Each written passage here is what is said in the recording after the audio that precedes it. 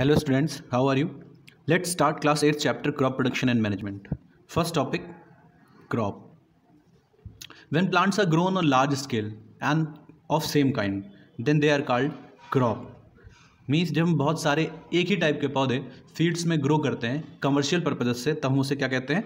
Crop कहते हैं, ठीक है? नेक्स्ट टॉपिक अब crop seasons in India you know that crops are growing in India according to the seasons there are three seasons in India according to the crop, or you can say the crops are of three types according to the season. So the first one is Ravi crop, second one is Kharif crop, and third one is Zayed crop. Okay, now let's discuss one by one. The first crop is Ravi crop. Ravi crop is shown in October to November season and harvested in April to May season because its seed required warm temperature. For germination इसके seed को grow करने के लिए warm temperature चाहिए होता है। ना बहुत ज़्यादा गर्म, ना बहुत ज़्यादा ठंडा। And you know that the October and November season is pleasant climatic conditions are there at the time of October and November ना बहुत गर्मी होती है, ना बहुत ठंडा होता है। तो ये बेटर टाइम हो गया for the rabi crop and it's seed maturation time requirement of the climate is cold so the harvesting season is to me means uh, april to may means कि टोटल मैचुरेशन पीरियड कैसा होता है अधिकतर ठंड का time होता है जिसमें ये प्लांट आसानी से ग्रो कर जाता है ठीक है एग्ज़ाम्पल की बात करें तो wheat oat gram pea barley potato tomato onion oil seeds are the examples of rabi crop now let's move to the kharif crop now this is winter uh, win, uh, sorry summer season crop or you can say especially monsoon crop not summer season you can say monsoon crop because we grow the plants which require lots of water and lots of heat. So you know that this so uh, june and july is the season. At the time the monsoon comes to the india and the rainy season is also the hottest season. It is the hottest season. So the plant uh, or you can say the seed, uh, seeds are sown in June to July season and harvested to September to October season. This These plants require a lot of water. That's why they are grown in rainy season that I already told you. The examples are uh, of uh, Kharif crop are rice, jowar, bajra, maize, cotton. They all require lots of water for the growth. Now the next is Zaid crop. Zaid crop is grown between Ravi and Kharif and this is very short period of time crop.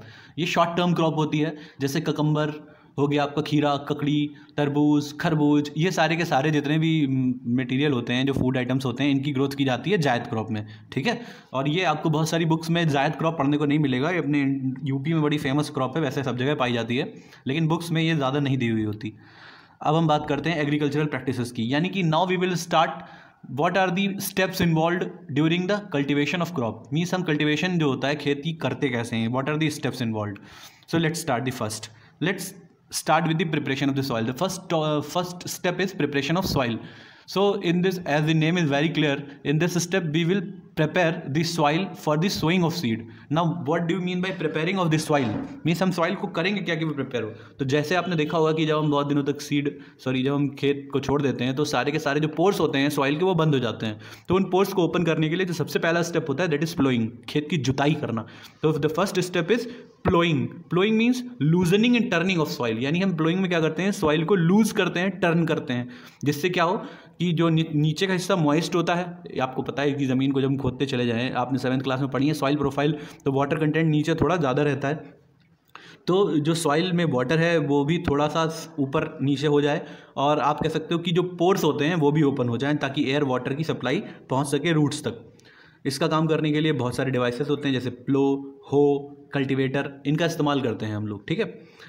Next step जब हम soil को प्लो कर देते हैं तो बड़े बड़े chunks crumbs यानी डेले मिट्टी के जो होते हैं, वो टूट के ऊपर हो जाते हैं। अब इन डेलों को क्या करना होता है, हमें तोड़ना होता है, ताकि पानी ज़्यादा एब्जॉर्ब ना हो। Equally water manure can easily be distribute throughout the field so the second step is very important for the preparation of soil that is levelling हम सॉइल को क्या करते हैं? लेबल करते हैं. लकड़ी के बड़े बड़े टुकड़े होते हैं. लेबलर एक डिवाइस होता है जिसका इस्तेमाल किया जाता है इन क्रम्स को तोड़ने के लिए. And the third and last step of the preparation of soil is manuring manuring मतलब हम खाद डालते हैं। खाद मतलब बायोलॉजिकल गार्बेज जितना भी होता है, जैसे गोबर हो गया ह्यूमन एक्सक्रीटा होता है कई कई जगहों पे तो आप देखेंगे कि जो नालों का पानी होता है, इनका इस्तेमाल भी किया जाता है एक तरीके से मैन्योरिंग करने के लिए। लेकिन सब जगह नहीं होता। Next step is sowing of seeds sowing of seed मतलब कि scattering and putting of seed into the ground हम सीड को छितरा कर फैला कर या उसे ज़मीन में लगाते हैं। This step is known is sowing of seed but before sowing of seed we need to think about three special things first when we are going to purchase the seed the seed should be of good quality seed कैसा होना चाहिए अच्छी quality का होना चाहिए second seed should be disease free ये disease free होना चाहिए third step seeds when we are sowing the seeds maintain proper gap between each seed so that two seeds does not grow at the same time because when two plants grow at the same time they will compete for the nutrient requirement to each other okay that can uh, that can create hindrance in the growth of the plant both the plants okay now for the seed sowing we can use different kind of device means you can you can sow the seeds by your hands और you can use seed drill okay now the next heading और the next step is manure and fertiliser addition now if we sow the seed we provide the food और अब हम क्या करते हैं? ज़मीन को क्या करते हैं? नरिश करना होता है हमें, क्योंकि सीड तो ग्रो हो गया, अब उस इट रिक्वायर न्यूट्रिशन ग्रोथ के लिए। है ना? बच्चा पैदा हो गया तो उसे कुछ खाने पीने के लिए भी तो देना होगा।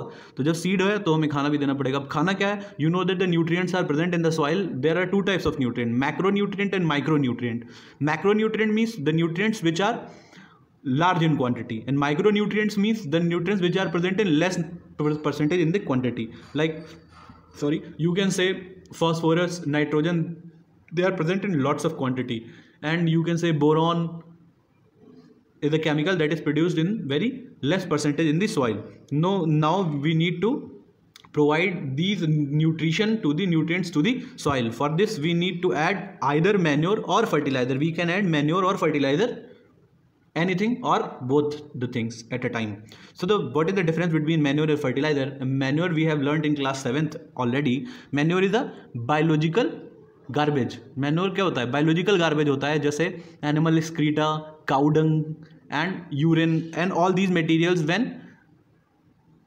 dispose in a pit they convert into compost ये खाद में बदल जाते हैं they are biodegradable it contain all kind of nutrients in adequate amount like carbon nitrogen sulphur phosphorus all kind of nutrients are present in this in this manure especially this manure is made up of humus and in your earlier classes you already have learned that humus play a very important role in the growth of plants in case of fertilizer fertilizer are specific salts. Like if you need phosphorus in large quantity so you need to apply phosphorus in the field.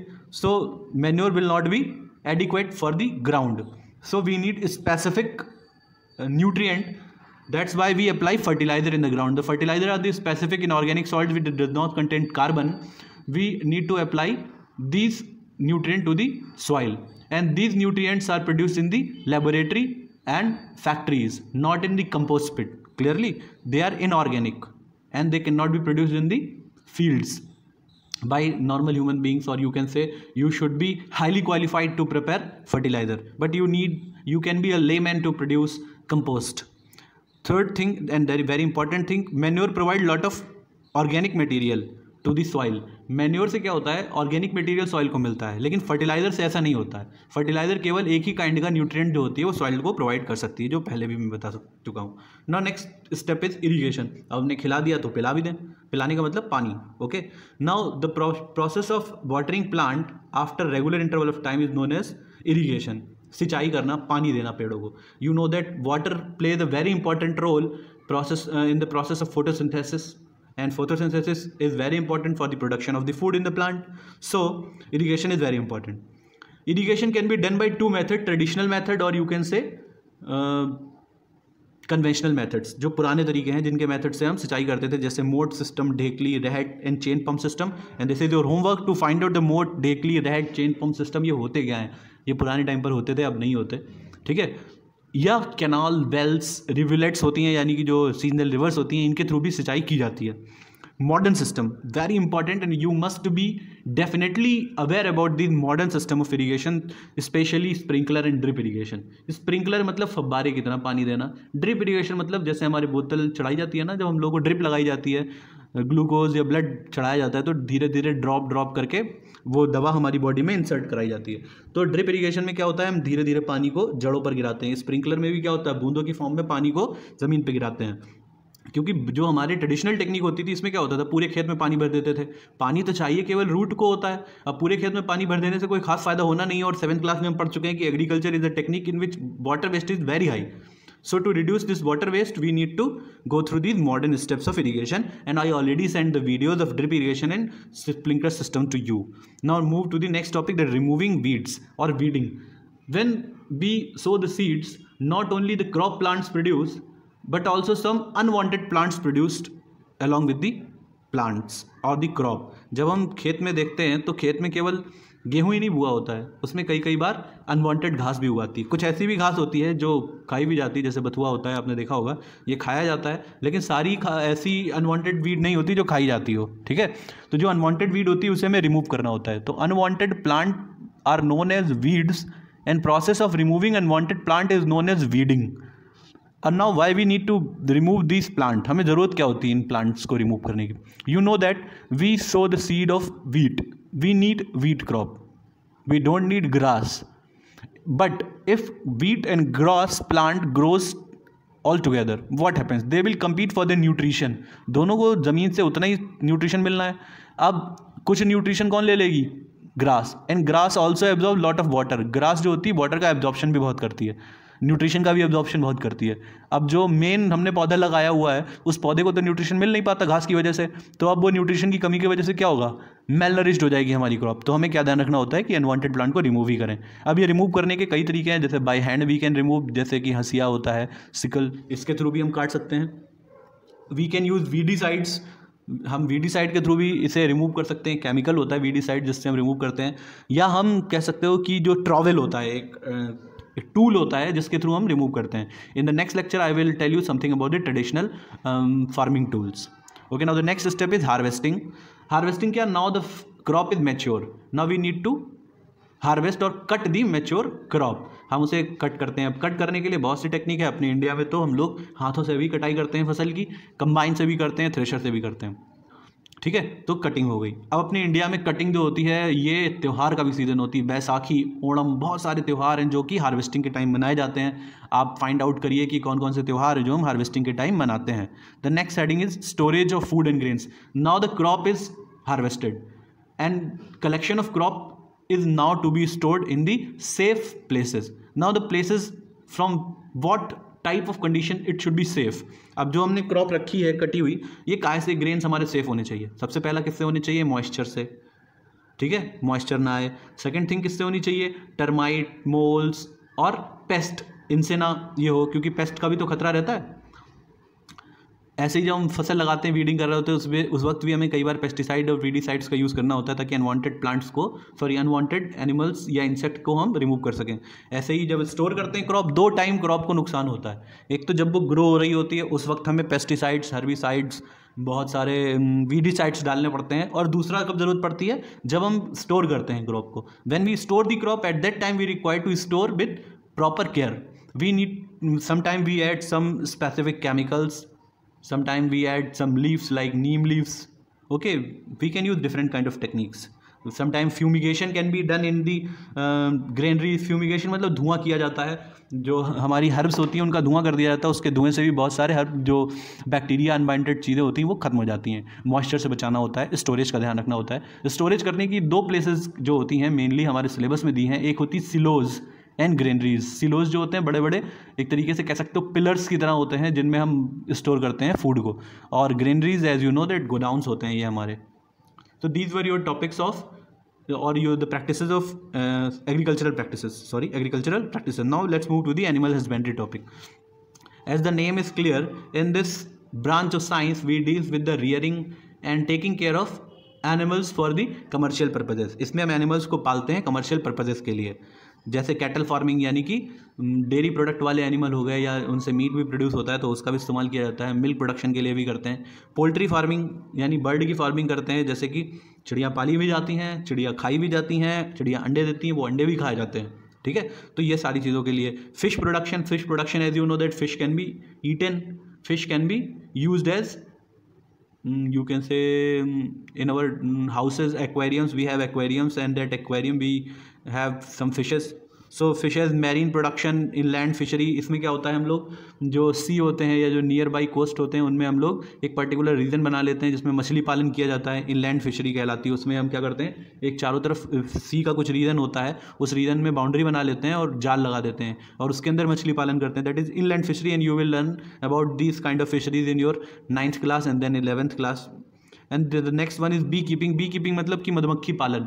मधुमक्खी पालन you know that we need bees for production of wax and honey. Honey plays very important role in the medicine field, medical field, or you can say, and different kind of animal. You know that that can be um, reared for agriculture uh, for commercial purposes. Like very very important, we left that is sheep.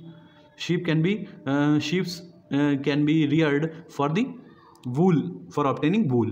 So these were some examples of animal husbandry. You can learn more so i just give you some ideas what kind of animal husbandry are in practices. So thank you students. Read out the topics properly. I am writing some uh, small points in these notes. I took help of these ppt programs from students and I took this uh, these um, slides from slides uh, SlideShare website. You can go through the SlideShare website. In that website, you can get very informative videos and PPT programs, PowerPoint programs. I took help. I want to say thank for SlideShare.com from where I got this very informative slides. Thank you, students. Be safe, be alert, at and be at your homes.